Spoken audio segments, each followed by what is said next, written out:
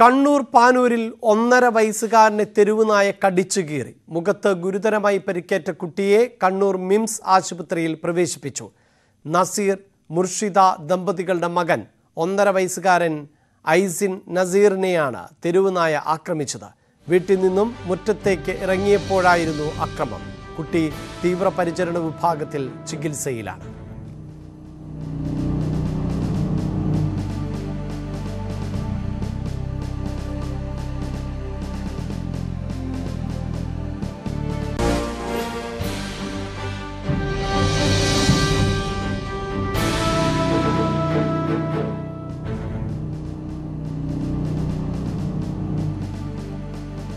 കണ്ണൂർ പാനൂരിലാണ് ഒന്നര വയസ്സുകാരനെ തെരുവുനായ കടിച്ചു കീറിയത്. മുഖത്ത് ഗുരുതരമായി പരിക്കേറ്റ കുട്ടിയെ കണ്ണൂർ മിംസ് ആശുപത്രിയിൽ പ്രവേശിപ്പിച്ചിരിക്കുകയാണ് നസീർ മുർഷിദ ദമ്പതികളുടെ മകൻ. ഒന്നര വയസ്സുള്ള ഐസിൻ നസീറിനെയാണ് തെരുവുനായ ആക്രമിച്ചത്. ദൃശ്യങ്ങൾ പോലും പ്രേക്ഷകർക്ക് കൃത്യമായി പങ്കുവെക്കാൻ തര പറ്റാത്ത തരത്തിലുള്ള ആക്രമണമാണ് നടന്നിട്ടുള്ളത്. ഒരിടവേളയ്ക്ക് ശേഷം തെരുവുനായ ആക്രമണം വാർത്തകളിൽ നിറയുകയാണ്. വീട്ടിൽ നിന്നും മുറ്റത്തേക്ക് ഇറങ്ങിയപ്പോഴായിരുന്നു തെരുവുനായ ഈ കുട്ടിയെ ആക്രമിച്ചത്. കുട്ടി തീവ്ര പരിചരണ വിഭാഗത്തിൽ ചികിത്സയിലാണ്. മറ്റൊരു വാർത്തയിലേക്ക് കോട്ടയം അമൽ ജ്യോതി എഞ്ചിനീയറിംഗ് കോളേജിലെ വിദ്യാർത്ഥി സമരത്തിൽ സർക്കാർ ഇടപെടുന്നു. നാളെ ഉന്നത വിദ്യാഭ്യാസ മന്ത്രി ആർ ബിന്ദുവും മന്ത്രി വി എൻ വാസവനും കോളേജിൽ എത്തി ചർച്ചകൾ നടത്തും. ഇന്നും വിദ്യാർത്ഥികളുടെ ശക്തമായ സമരമാണ് കോളേജിൽ അരങ്ങേറിയത്. മാനേജ്മെന്റ് ചർച്ച നടത്തിയെങ്കിലും ആവശ്യങ്ങൾ അംഗീകരിക്കാതെ വന്നതോടെ സമരം തുടരുകയായിരുന്നു. ചർച്ചയ്ക്ക് പിന്നാലെ പോലീസും വിദ്യാർത്ഥികളും തമ്മിൽ സംഘർഷം ഉണ്ടായി. ജി. ശ്രീജിത്തിന്റെ റിപ്പോർട്ടിലേക്ക്. എന്തായാലും രണ്ടാം ദിവസവും അമൽജ്യോതി സമരം ശക്തമായി തുടരുന്ന ഒരു കാഴ്ചയാണ് നമുക്ക് കാണാൻ സാധിച്ചത്. നിലവിൽ എന്തായാലും ആശ്വാസകരമായ ഒന്നുള്ളത് സർക്കാർ ഈ സമരത്തിൽ ഇടപെടുന്നു എന്നുള്ളതാണ്. ഉന്നത വിദ്യാഭ്യാസ മന്ത്രി ആർ ബിന്ദുവും ഒപ്പം തന്നെ മന്ത്രി വി എൻ വാസവനും നാളെ രാവിലെ പത്ത് മണിയോടുകൂടി അമൽജ്യോതി എഞ്ചിനീയറിംഗ് കോളേജിലെത്തി വിദ്യാർത്ഥികളുമായും ഒപ്പം തന്നെ മാനേജ്മെന്റ് പ്രതിനിധികളുമായും ചർച്ച നടത്തുമെന്ന് തീരുമാനിച്ചിട്ടുണ്ട്. ഇന്ന് രാവിലെ തന്നെ മന്ത്രി ഈ സമരത്തിനെതിരെ സമരത്തെ അനുകൂലിച്ചും ഫലത്തിൽ മാനേജ്മെന്റിന്റെ രീതികൾക്കെതിരെയും രംഗത്ത് വന്നിരുന്നു. മറ്റൊരു പ്രധാനപ്പെട്ട കാര്യം ഈ സമരം ഇന്ന് ശക്തമായി തുടരുന്ന ഒരു സ്ഥിതിയായിരുന്നു ഉണ്ടായിരുന്നത്. രാവിലെ കോളേജ് അടച്ചിട്ടുകൊണ്ട് അധ്യാപകർ പ്രത്യേകിച്ച് മാനേജർ ഉൾപ്പെടെയുള്ളവർ വിദ്യാർത്ഥികളെ ഭീഷണിപ്പെടുത്തുന്ന രംഗങ്ങളാണ് കാണാൻ സാധിച്ചത്. ഇതുമായി ബന്ധപ്പെട്ട വിദ്യാർത്ഥികൾ വലിയ പരാതി ഉയർത്തിക്കൊണ്ടിരുന്ന ഒരു സ്ഥിതിയാണ് ഉണ്ടായിരുന്നത്. മാധ്യമങ്ങളെയും കോളേജിനുള്ളിൽ പ്രവേശിപ്പിക്കാൻ തയ്യാറായില്ല. എന്തായാലും അധ്യാപകർ നടത്തിയ ഈ പ്രതികരണം വലിയ വിവാദത്തിന് കാരണമായിരുന്നു.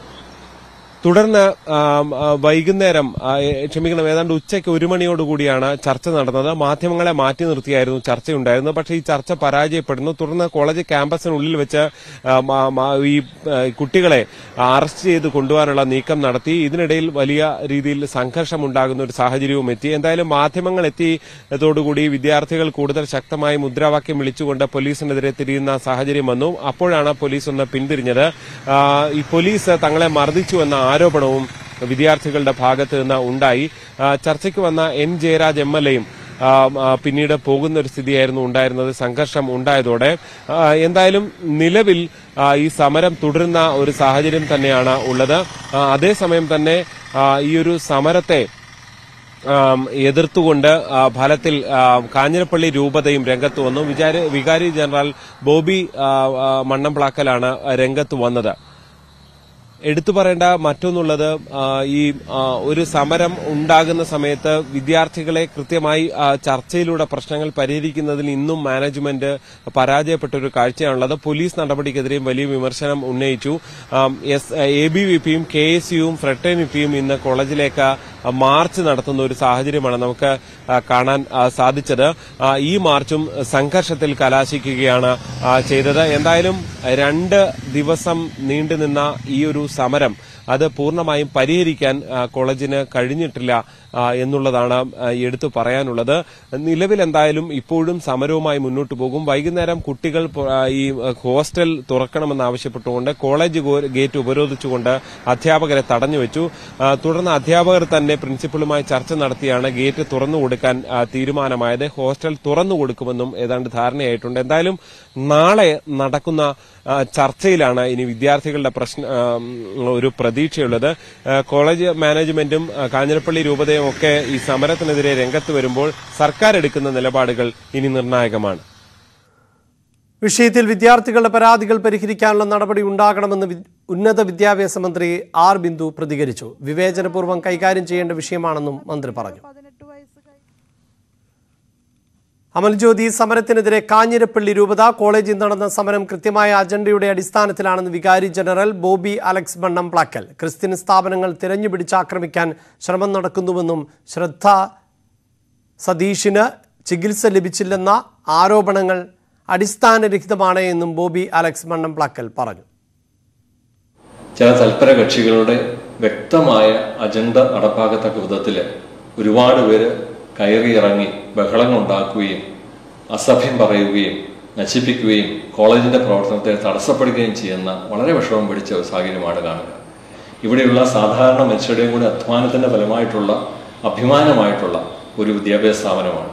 ഇതിനെ നശിപ്പിക്കുവാൻ വേണ്ടി ചില തൽപര കക്ഷികൾ തുറന്നു തന്നെ പറയേണ്ടിയിരിക്കുന്നു തൽപര കക്ഷികൾ കൃത്യമായ അജണ്ടയോടുകൂടി പ്രവർത്തിക്കുന്നു എന്നുള്ള സങ്കടകരമായ കാര്യം നിങ്ങളുമായിട്ട് പങ്കുവയ്ക്കുകയാണ്. ഈ പ്രശ്നം ഈ രണ്ട് ദിവസമായിട്ട് അരങ്ങേറിക്കൊണ്ടിരിക്കുന്ന മാധ്യമങ്ങളിൽ വരുന്ന റിപ്പോർട്ടുകൾ അരങ്ങേറ്റങ്ങളെക്കുറിച്ച് വരുന്ന റിപ്പോർട്ടുകളിൽ നിന്ന് വ്യക്തമാണ്. അതുകൊണ്ട് ഞാൻ അതിലേക്ക് കടക്കുന്നില്ല. ഏതായാലും നമ്മുടെ നാട്ടിൽ വിദ്യാഭ്യാസ സ്ഥാപനങ്ങൾ നിലനിൽക്കണം. നമ്മുടെ കുഞ്ഞുങ്ങളുടെ ഭാവിക്ക് അത് അത്യാവശ്യമാണ്. നിലവാരമുള്ള സ്ഥാപനങ്ങൾ ഉണ്ടാകണം. ഇത് പ്രത്യേകിച്ചും ക്രിസ്ത്യൻ സ്ഥാപനങ്ങളെ ഒറ്റതിരിഞ്ഞ് ആക്രമിക്കുന്ന പ്രവണത അടുത്ത കാലത്ത് കണ്ടുവരുന്നുള്ളത് സങ്കടകരമായ കാര്യമാണ്. ഈ അവസരത്തിൽ എല്ലാവരോടും അപേക്ഷിക്കുവാനുള്ളത് ഈ പ്രശ്നത്തിന്റെ അടിത്ത അടിസ്ഥാനത്തിലേക്ക് എത്തി കാര്യങ്ങൾ കണ്ടുപിടിക്കുക എന്നുള്ള എല്ലാവരുടെയും ആവശ്യമാണ്. ഒരു കുഞ്ഞിനും നമ്മുടെ നാട്ടിൽ ഇങ്ങനെ അവസ്ഥ ഉണ്ടാകാൻ പാടില്ല. അന്വേഷണ ഏജൻസികളും സർക്കാരും എല്ലാം ചേർന്ന് ഇതിന്റെ യഥാർത്ഥ സത്യം എന്താണെന്നുള്ളത് കണ്ടെത്തണമെന്നുള്ള അപേക്ഷിച്ചുകൊണ്ട് നിർത്തുന്നു. എസ് എഫ് ഐ സംസ്ഥാന സെക്രട്ടറി പി എം അർഷോയുടെ മാർക്ക് ലിസ്റ്റിൽ വിവാദം. എറണാകുളം മഹാരാജാസ് കോളേജിലെ മൂന്നാം സെമസ്റ്റർ ആർക്കിയോളജിയുടെ മാർക്ക് ലിസ്റ്റിൽ ഒരു വിഷയത്തിലും മാർക്ക് കാണിച്ചിട്ടില്ല. എന്നാൽ പാസ്സായി എന്നാണ് ലിസ്റ്റിൽ ഉള്ളത്. സാങ്കേതിക തകരാറാണ് കാരണമെന്ന് കോളേജ് പ്രിൻസിപ്പൽ വ്യക്തമാക്കി. സംഭവം വിവാദമായതോടെ മാർക്ക് ലിസ്റ്റ് വെബ്സൈറ്റിൽ നിന്ന് നീക്കി. പിന്നീട് ആർഷോ തോറ്റു എന്ന് തിരുത്തിയ mark list Maharajas college upload ചെയ്തു. സുബി വിശ്വനാഥന്റെ റിപ്പോർട്ടിലേക്ക്. എസ് എഫ് ഐ സംസ്ഥാന സെക്രട്ടറി പി എം അർഷോയുടെ മാർക്ക് ലിസ്റ്റുമായി ബന്ധപ്പെട്ടാണ് വിവാദമുണ്ടായത്. മഹാരാജാസ് കോളേജിലെ ഇന്റഗ്രേറ്റഡ് ആർക്കിയോളജി വിദ്യാർത്ഥിയാണ് പി എം അർഷോ. മൂന്നാം സെമസ്റ്ററിലാണ് പി എം അർഷോ പഠിക്കുന്നത്. മൂന്നാം സെമസ്റ്ററിന്റെ പരീക്ഷ കഴിഞ്ഞ് അതിന്റെ റിസൾട്ട് കഴിഞ്ഞ മാർച്ച് ഇരുപത്തി മൂന്നിന് പ്രസിദ്ധീകരിച്ചിരുന്നു. ഈ റിസൾട്ട് മഹാരാജാസ് കോളേജിന്റെ വെബ്സൈറ്റിലും പ്രസിദ്ധീകരിച്ചിരുന്നു.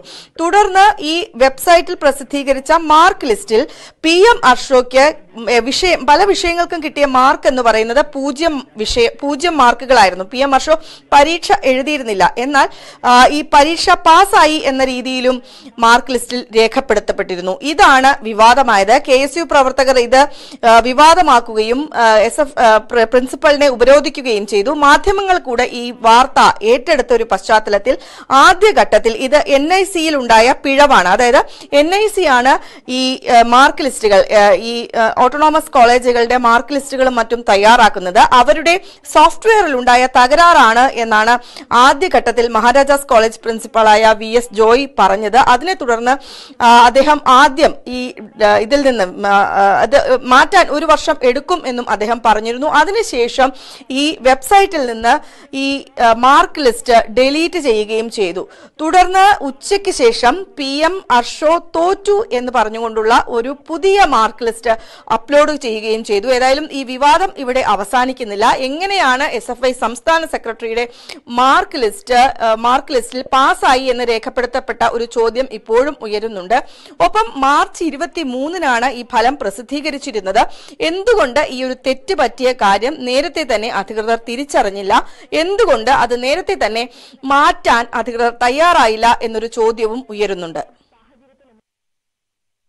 വിവാദം സൃഷ്ടിക്കുന്നതിൽ വകുപ്പ് മേധാവിയുടെ പങ്ക് അന്വേഷിക്കണമെന്ന് P M Arsho news eighteen prime ഡിബേറ്റിൽ പ്രതികരിച്ചു. രണ്ടായിരത്തി ഇരുപത് ബാച്ചിലാണ് താൻ പഠിക്കുന്നത്. വെബ്സൈറ്റിൽ പ്രചരിക്കുന്നത് രണ്ടായിരത്തി ഇരുപത്തൊന്ന് ബാച്ചിന്റെ റിസൾട്ടാണ്.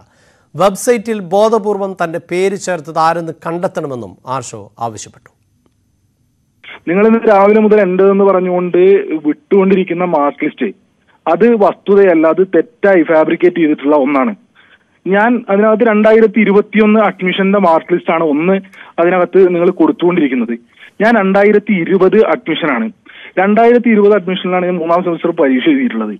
ആ പരീക്ഷയുടെ റിസൾട്ട് നിങ്ങൾ ഈ കൊടുത്ത സമയത്തല്ല രണ്ടായിരത്തി ഇരുപത്തിരണ്ട് ഒക്ടോബർ മാസം ഇരുപത്തി ആറാം തീയതി ആ റിസൾട്ട് പബ്ലിഷ് ചെയ്യപ്പെട്ടിട്ടുണ്ട്. ആ ഘട്ടം മുതൽ രണ്ടായിരത്തി ഇരുപത്തിരണ്ട് ഒക്ടോബർ മാസം ഇരുപത്തി ആറ് മുതൽ മഹാരാജാസ് കോളേജിന്റെ സൈറ്റിൽ ആ റിസൾട്ട് ലഭ്യമാണ് നിങ്ങളത് പരിശോധിക്കാൻ തയ്യാറായിട്ടില്ലാത്തതിന്റെ ഭാഗമായിട്ടാണ് നിങ്ങൾ ഈ ഘട്ടം വരെ ഈ വ്യാജ വാർത്ത തുടർന്നുകൊണ്ടിരിക്കുന്നത്. എന്റെ ക്ലാസ്സിലെ എന്റെ ബാച്ചിലെ വിദ്യാർത്ഥികളുടെ റിസൾട്ട് അല്ല എന്റെ കൂടെ ഉള്ളത്. അത് അങ്ങേറ്റം തെറ്റായിട്ടുള്ള ഒന്ന്. അത് ആര് ഫാബ്രിക്കേറ്റ് ചെയ്ത് ഉണ്ടാക്കി എന്നുള്ളതിനെ സംബന്ധിച്ച് വ്യാപകമായിട്ട് വിപുലമായിട്ടുള്ള അന്വേഷണം നടക്കണം എന്ന പക്ഷമാണ് ഞങ്ങൾക്കുള്ളത്. പ്രിൻസിപ്പൽ പറഞ്ഞ വാദം അങ്ങേറ്റം തെറ്റാണ്. അത് സാങ്കേതിക പിഴവാണ് എന്ന് വിശ്വസിക്കാൻ വേണ്ടി ഞങ്ങൾ ആഗ്രഹിക്കുന്നില്ല. അത് കരുതി കൂട്ടി മനഃപൂർവം ചില ആളുകൾ നടത്തിയതാണ് എന്ന് നല്ല ബോധ്യം ഞങ്ങൾക്കുണ്ട്. ഗസ്റ്റ് ലെക്ചററാകാൻ വ്യാജരേഖ ചമച്ചതിന് എറണാകുളം മഹാരാജാസ് പൂർവ വിദ്യാർത്ഥിനിക്കെതിരെ കേസ്. കോളേജ് അധികൃതരുടെ പരാതിയിലാണ് കാസർഗോഡ് സ്വദേശിനിയായ കെ വിദ്യക്കെതിരെയുള്ള നടപടി. അട്ടപ്പാടി സർക്കാർ കോളേജിലാണ് ഗസ്റ്റ് ലെക്ചറർ അഭിമുഖത്തിന് വ്യാജരേഖ ചുമച്ചത്. മഹാരാജാസ് കോളേജിലെ മലയാള വിഭാഗത്തിൽ ഗസ്റ്റ് അധ്യാപികയായി രണ്ടു വർഷം പ്രവർത്തിച്ചതിന്റെ സർട്ടിഫിക്കറ്റാണ് വ്യാജമായി ഉണ്ടാക്കിയത്. ആലപ്പുഴയിൽ കണ്ടല്ലൂർ ഫാർമേഴ്സ് സർവീസ് ബാങ്കിലെ ക്രമക്കേട് റിപ്പോർട്ട് ചെയ്യാനെത്തിയ ന്യൂസ് എയ്റ്റീൻ മാധ്യമ സംഘത്തിന് നേരെ ആക്രമണം. കോൺഗ്രസ് നേതാവും ഡി സി സി അംഗവുമായ ബിജു ഈരിക്കലിന്റെ നേതൃത്വത്തിലായിരുന്നു കയ്യേറ്റം. ആക്രമണത്തിൽ ഡ്രൈവർ ശ്രീകാന്തിന് പരിക്കേറ്റു. ആലപ്പുഴ റിപ്പോർട്ടർ ശരണ്യ സ്നേഹജന് നേരെ ബാങ്ക് ജീവനക്കാർ കൊലവിളി മുഴക്കി. പരാതിക്കാരനെയും ജീവനക്കാർ കൂട്ടമായി ആക്രമിച്ചു.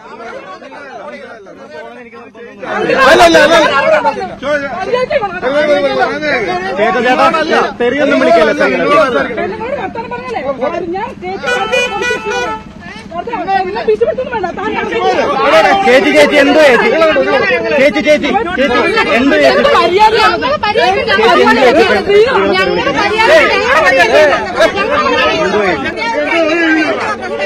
അതിന് സ്ത്രീകളെ തെറി വിളിക്കണോ സ്ത്രീകളെ തെറി വിളിക്കണോ സ്ത്രീകളെ തെറി ചോദിച്ചേ. അവർ സ്ത്രീകളെ അവരെ ശരണ്യ സ്നേഹജന്റെ റിപ്പോർട്ടിലേക്ക്. ഈ സംഭവം ഉണ്ടാകുന്നത് ഏകദേശം മൂന്ന് മണിയോട് കൂടിയാണ്.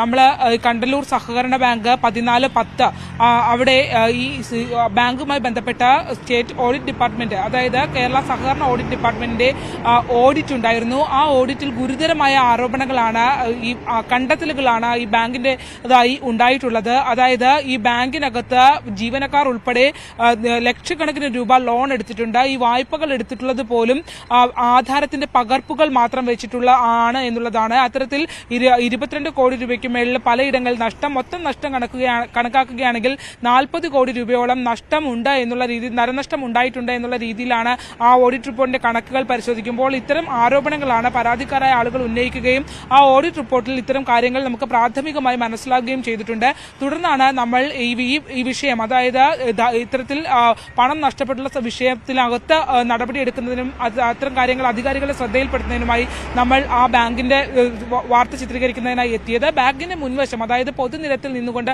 നമ്മൾ ബാങ്കിന്റെ ദൃശ്യങ്ങൾ എടുത്തു തുടങ്ങിയപ്പോൾ തന്നെ ആ ബാങ്കിലെ ബാങ്കിന്റെ പ്രസിഡന്റായ ബിജു ഈരിക്കൽ അദ്ദേഹം കോൺഗ്രസിന്റെ ഡി സി സി അംഗമാണെന്നാണ് നമുക്ക് മനസ്സിലാക്കാൻ കഴിയുന്നത്. ഈ കോൺഗ്രസ് നേതാവിന്റെ നേതൃത്വത്തിലായിരുന്നു ഒരുപറ്റം ജീവനക്കാർ ഒരുമിച്ചെത്തി നമ്മളെ തടഞ്ഞു വെക്കുകയും ഒപ്പം തന്നെ കയ്യേറ്റം ചെയ്യുകയും ചെയ്തത്.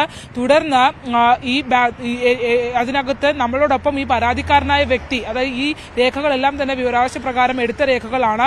ഈ പരാതിക്കാരനായ വ്യക്തി വാഹനത്തിനകത്തുണ്ടായിരുന്നു. ഈ വ്യക്തിയെ നമ്മുടെ വാഹനത്തിനകത്ത് കയറി ഈ ബിജു ഇരിക്കലിന്റെ നേതൃത്വത്തിലുള്ള സംഘം ആക്രമിക്കുകയായിരുന്നു. തുടർന്ന് നമ്മളിത് തടഞ്ഞപ്പോൾ നമ്മളെ തടഞ്ഞു നിർത്തിക്കൊണ്ട് ഈ വനിതാ ജീവനക്കാരും ഒപ്പം തന്നെ ഈ ബിജു ഇരിക്കലിനെ നേതൃത്വത്തിലുള്ള സംഘം നമ്മളെ കയ്യേറ്റം ചെയ്യുകയും ഒപ്പം തന്നെ ക്യാമറ നമ്മുടെ എക്യുപ്മെന്റ്സ് അവരെ നശിപ്പിക്കാൻ ശ്രമിക്കുകയുമാണ് ഉണ്ടായിട്ടുള്ളത്. പരസ്യമായ ആളുകളെ ആക്രമിക്കുന്ന രീതിയാണ് ഉള്ളത്. അത് ഈ പരാതിക്കാരെ ആളുകളും പറഞ്ഞിരുന്നു. ഈ പരാതി നൽകിയ വിവരാശ പ്രകാരം രേഖകൾ ശേഖരിച്ച വ്യക്തിയുടെ വീടിന് നേരെ ആക്രമണം ഉണ്ടായിരുന്നു. വീടിന്റെ ചില്ലകളും ഒക്കെ തകർന്നിട്ടും ഇത് സംബന്ധിച്ച് പോലീസിൽ പരാതി നൽകിയിട്ട് അവരെ ഉന്നയിക്കുന്ന കാര്യമെന്ന് പറയുന്നത് പോലീസ് ഭീഷണിപ്പെടുത്തി ആ പരാതി ഒത്തുതീർപ്പിക്കാൻ ഒത്തുതീർപ്പാക്കാനായി ശ്രമിച്ചു എന്നുള്ളതാണ്. സ്വാഭാവികമായും ഈ പരാതിക്കാരനായ വ്യക്തിയുടെ കാര്യവും അദ്ദേഹത്തിന്റെ ജീവനും അപകടത്തിലാണ്. ആ രീതിയിലുള്ള ആക്രമണം അവിടെ അഴിച്ചുവിടുന്നു. വനിതാ ജീവനക്കാരടക്കം വളരെ മോശമായ ഭാഷയിൽ ആക്രമണം നടന്നുവെന്ന് സംബന്ധിച്ച് കണ്ടല്ലൂർ ഫാർമേഴ്സ് സർവീസ് സഹകരണ ബാങ്ക് പ്രസിഡന്റ് ഇരിക്കൽ ബിജു. ആക്രമണത്തിൽ ഖേദപ്രകടനവും ന്യായീകരണവും ഒരുമിച്ച് നടത്തുന്ന നിലപാടാണ് ഡി സി സി അംഗം കൂടിയായി ബിജു സ്വീകരിച്ചത്. ബാങ്കിൽ പത്ത് പതിനായിരത്തോളം അങ്ങനെ അംഗസഹകാരികളുള്ള വലിയ സ്ഥാപനമാണ്. ഈ സ്ഥാപനത്തിലെ രണ്ടോ മൂന്നോ ആളുകൾ അടിസ്ഥാനരഹിതമായിട്ടുള്ള പരാതികൾ ഉന്നയിച്ചുകൊണ്ട് ബാങ്കിനെതിരെ നിരന്തരം പരാതി ഉന്നയിച്ച് പ്രശ്നം ഉണ്ടായിക്കൊണ്ടിരിക്കുക ഇവർ ഉന്നയിക്കുന്ന പരാതികളെല്ലാം അടിസ്ഥാനരഹിതമാണെന്ന് കണ്ടുകൊണ്ട് ഡിപ്പാർട്ട്മെന്റ് ഇതെല്ലാം തള്ളിക്കളഞ്ഞുകൊണ്ടിരിക്കുന്ന സ്ഥാനമാണ് ഇപ്പോൾ അവസാനമായിട്ട് ഇവർ നമ്മുടെ ബാങ്കിന്റെ ഓഡിറ്റ് സർട്ടിഫിക്കറ്റിന്റെ ന്യൂനതാ സംഗ്രഹം എടുത്തുകൊണ്ട് വന്നിട്ട് കഴിഞ്ഞ വർഷത്തെ ഓഡിറ്റ് സർട്ടിഫിക്കറ്റ് ന്യൂനതാ സംഗ്രഹം എടുത്തുകൊണ്ട് വന്നിട്ട് അത് നാട് നീളാമെന്നാണെന്ന് പ്രചരിപ്പിക്കുകയാണ്. പക്ഷേ ഇത് ഈ ന്യൂനതാ സംഗ്രഹത്തിൽ പറഞ്ഞിട്ടുള്ള തൊണ്ണൂറ് ശതമാനം കാര്യങ്ങളും പരിഹരിച്ച കാര്യങ്ങളാണ്. എന്നിട്ട് പോലും അത് കൊണ്ടുവന്ന് പ്ര- പരി- പ്ര- പ്രചരിപ്പിക്കണം അതിനെ സംബന്ധിച്ച് ഞങ്ങൾ പോലീസ് കേസും മറ്റു കാര്യങ്ങളും കൊടുത്തിട്ടുണ്ട്. ഒരു ദിവസം നീണ്ട അനിശ്ചിതത്വത്തിനൊടുവിൽ അരിക്കൊമ്പനെ തമിഴ്നാട് വനംവകുപ്പ് സ്വതന്ത്രനാക്കി. ഇന്ന് രാവിലെ അപ്പർ കോതയാർ മുത്തുകുളി വനത്തിലാണ് അരിക്കൊമ്പനെ തുറന്നുവിട്ടത്. ഇരുപത്തിനാല് മണിക്കൂറിലധികം അനിമൽ ആംബുലൻസിൽ തുടർന്ന അരിക്കൊമ്പൻ അവശനായിരുന്നു.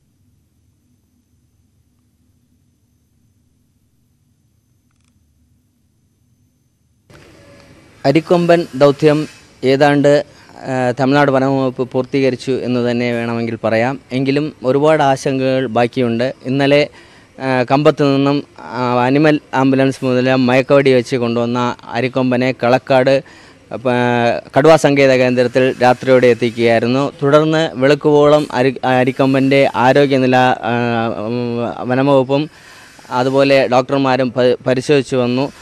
അരിക്കൊമ്പന് നേരത്തെ തന്നെ ഏർപ്പെട്ട തുമ്പിക്കൈയിലുള്ള മുറിവുകൾക്കും ശരീരഭാഗങ്ങളിലെ മുറിവുകൾക്കും രാത്രി വെളുക്ക വെളുക്കെ ചികിത്സ നൽകി.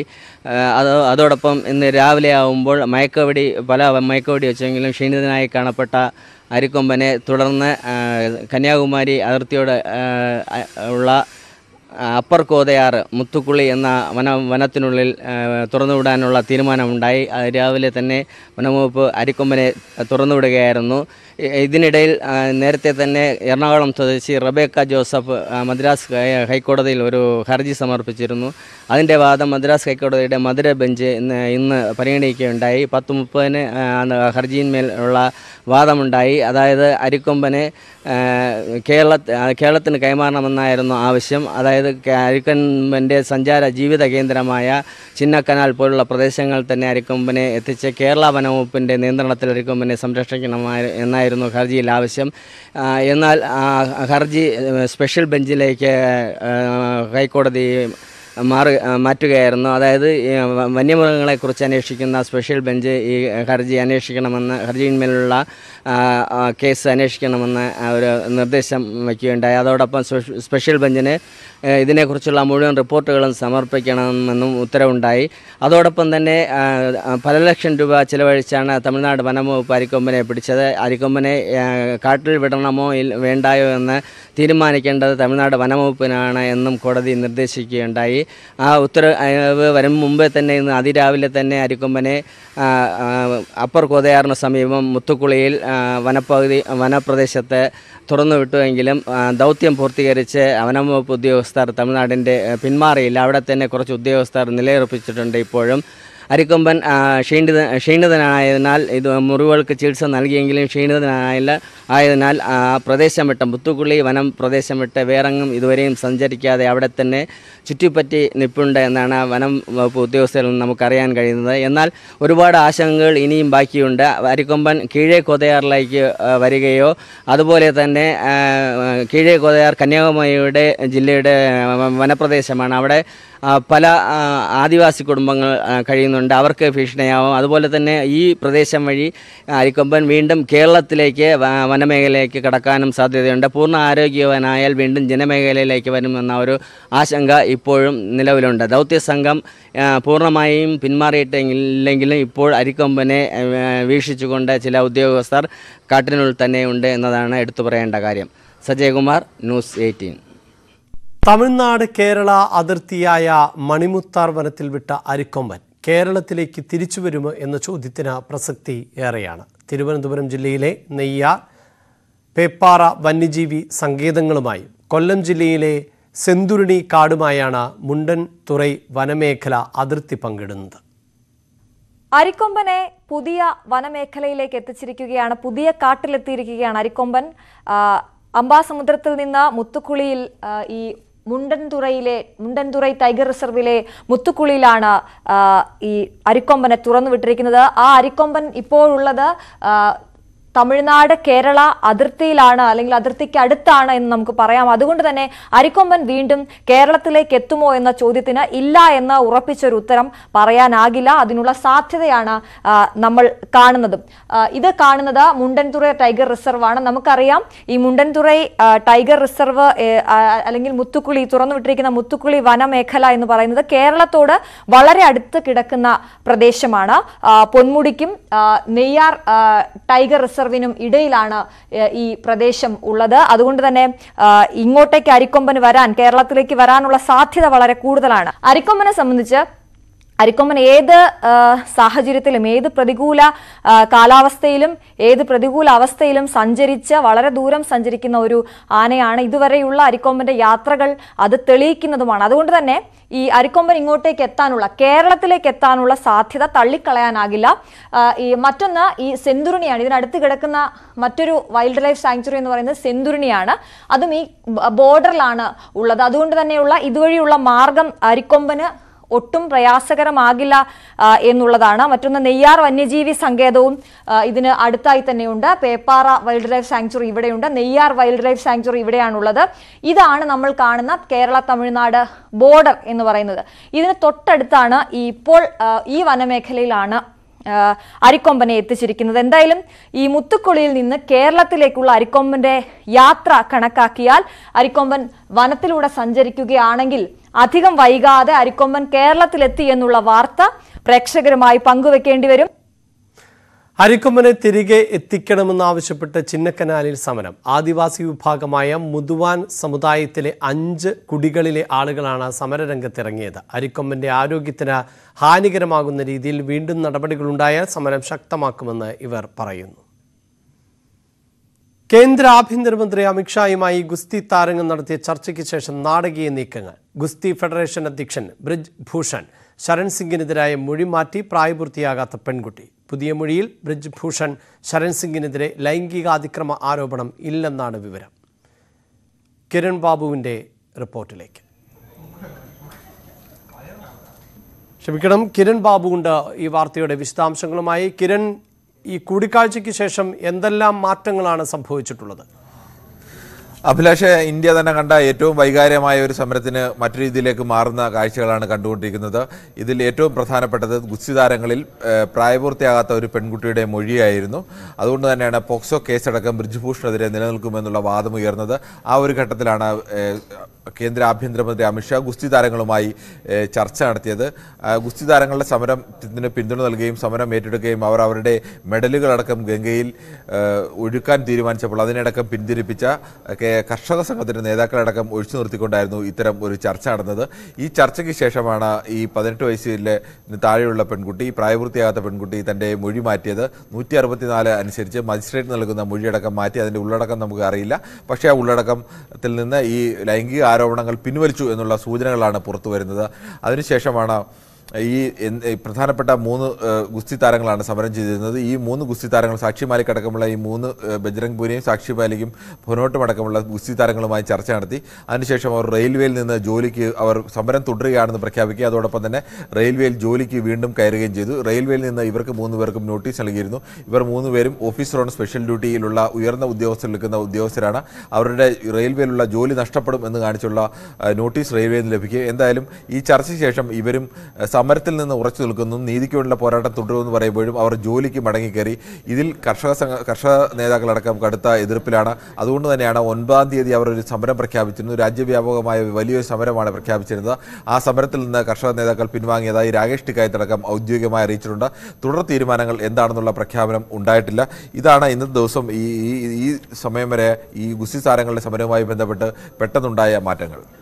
വിശദാംശങ്ങളാണ് കിരൺ നൽകിയത്. കോൺഗ്രസ് പാർട്ടി വിടുന്നു എന്ന വാർത്തകൾ നിഷേധിച്ച സച്ചിൻ പൈലറ്റ്. ജൂൺ പതിനൊന്ന് ഞായറാഴ്ച പിതാവ് രാജേഷ് പൈലറ്റിന്റെ ചരമ വാർഷികത്തിൽ പുതിയ പാർട്ടി പ്രഖ്യാപിക്കുമെന്നും റാലി നടത്തും എന്നുമായിരുന്നു റിപ്പോർട്ടുകൾ. എന്നാൽ ഈ വാർത്തകൾ അടിസ്ഥാനരഹിതമാണ് എന്നാണ് പൈലറ്റ് പക്ഷം നേതാക്കൾ വ്യക്തമാക്കുന്നത്. ഞായറാഴ്ച റാലി നടത്തില്ല എന്നും നേതാക്കൾ അറിയിച്ചു. അതേസമയം സച്ചിൻ ഉന്നയിച്ച മൂന്ന് വിഷയങ്ങൾ അംഗീകരിക്കണം എന്ന നിലപാടിൽ ഉറച്ചു നിൽക്കുകയാണ് സച്ചിൻ പൈലറ്റ് വിഭാഗം. എം ജി മിഥുന്റെ റിപ്പോർട്ടിലേക്ക്. രാജസ്ഥാൻ കോൺഗ്രസിലെ പ്രതിസന്ധി ഒഴിയുന്നില്ല എന്നുള്ളത് തന്നെയാണ് ഏറ്റവും ഒടുവിൽ ലഭ്യമാകുന്ന വിവരങ്ങൾ അനുസരിച്ച് മനസ്സിലാക്കാൻ സാധിക്കുന്നത്. അതായത് ഇന്ന് രാവിലെയോടുകൂടി പുറത്തു വന്ന വിവരം അതായത് സച്ചിൻ പൈലറ്റ് പുതിയ പാർട്ടി രൂപീകരിക്കാൻ ഒരുങ്ങുന്നു. കോൺഗ്രസ് നേതൃത്വത്തിൽ നിന്ന് വിടാനുള്ള ഒരു നീക്കമാണ് സച്ചിൻ പൈലറ്റിന്റെ ഭാഗത്തു നിന്നും ഉണ്ടാകുന്നത്. അതിന് ഈ രാജേഷ് അതായത് സച്ചിൻ പൈലറ്റിന്റെ അച്ഛന്റെ ചരമവാർഷിക ദിനത്തിൽ അദ്ദേഹം പുതിയ പ്രഖ്യാപനം നടത്തും നിർണായക പ്രഖ്യാപനം നടത്തുമെന്നുള്ള വാർത്തകളായിരുന്നു പുറത്തു വരികയും ചെയ്തത്. പിന്നീട് അത് തള്ളി സച്ചിൻ പൈലറ്റ് വിഭാഗം തന്നെ രംഗത്ത് വരികയും ചെയ്യുന്നു. അത്തരത്തിൽ കോൺഗ്രസ് വിടാനുള്ള ഒരു തീരുമാനമില്ല. ഒപ്പം തന്നെ അന്ന് റാലി നടത്തുമെന്നുള്ള വാർത്തകളൊക്കെ പ്രചരിക്കുന്നത് വ്യാജ വാർത്തയാണ്. അത്തരത്തിലുള്ള റാലി തങ്ങൾ സംഘടിപ്പിക്കുന്നില്ല എന്നുള്ളത് തന്നെയാണ് ഔദ്യോഗികമായി തന്നെ അവർ വ്യക്തമാക്കുകയും ചെയ്യുന്നത്. പക്ഷേ കഴിഞ്ഞ കുറേ കാലങ്ങളായി രണ്ടായിരത്തി പതിനെട്ട് തെരഞ്ഞെടുപ്പിന് ശേഷം സച്ചിൻ പൈലറ്റും അശോക് ഗെഹ്ലോട്ടുമായി വ്യാപക രീതിയിലുള്ള ചേരിതിരിഞ്ഞുള്ള ആക്രമണമായിരുന്നു അങ്ങോട്ടും ഇങ്ങോട്ടുമുള്ളത് പക്ഷേ പല തവണയും ദേശീയ നേതൃത്വം ഇടപെട്ട് ഇവരെ അനുനയിപ്പിക്കാനുള്ള ചർച്ചകളൊക്കെ നടത്തുകയും ചെയ്തു. പിന്നീടാണ് ഈ ഒളിഞ്ഞും തെളിഞ്ഞുമുള്ള ചില ഇടപെടൽ സച്ചിൻ പൈലറ്റിന്റെ ഭാഗത്തുനിന്നും ഉണ്ടായിരുന്നുവെങ്കിൽ പോലും തന്നെ കഴിഞ്ഞ ആഴ്ച വീണ്ടും ദേശീയ നേതൃത്വം ഇടപെട്ട് ഇരുവരെയും ചർച്ചയ്ക്ക് വിളിക്കുകയും മല്ലികാർജുൻ ഖാർഗെയുടെ വസതിയിൽ ഇരുവരെയും ചർച്ചയ്ക്ക് വിളിക്കുകയും തുടർന്ന് മാധ്യമങ്ങൾക്ക് മുമ്പിൽ വന്നപ്പോൾ ഒറ്റക്കെട്ടായി തെരഞ്ഞെടുപ്പിനെ നേടും അതായത് തെരഞ്ഞെടുപ്പ് ആസന്നമായിരിക്കുന്ന ഈ ഒരു ഘട്ടത്തിൽ ഇരു നേതാക്കളും തമ്മിലുള്ള ഈ ചേരിതിരിഞ്ഞുള്ള ഒരു പോരാട്ടം കണക്കുമ്പോൾ അത് തെരഞ്ഞെടുപ്പിനെയും ഒപ്പം തന്നെ കോൺഗ്രസിനെയും കടുത്ത രീതിയിൽ ബാധിക്കുകയും ചെയ്യും.